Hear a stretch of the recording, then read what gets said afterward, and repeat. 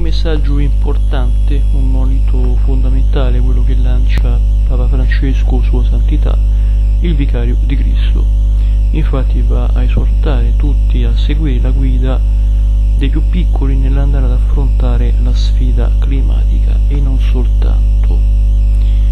Francesco, Sua Santità Papa Bergoglio, spiega come le crisi siano anche le finestre di una grande opportunità da cui può nascere, diciamo così, qualcosa in più per andare a riconoscere e andare quindi ad imparare quelli che possono essere stati gli errori del passato.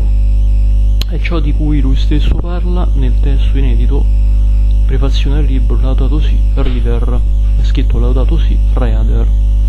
Il passato recente ci mostra che sono soprattutto i bambini, i nostri bambini, i nostri figli, ad avere compreso la portata, l'enormità delle sfide che la società ci mette davanti.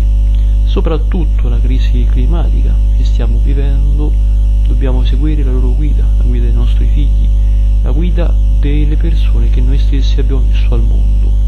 Ed è bisogna, e bisogna quindi agire tutti insieme, coadiuvandoci, coadiu, coadiuvandosi tutti, nessuno escluso. Bene, vi ringrazio per l'ascolto, per la visione di questo video di oggi. Iscrivetevi al canale Narratore Italiano,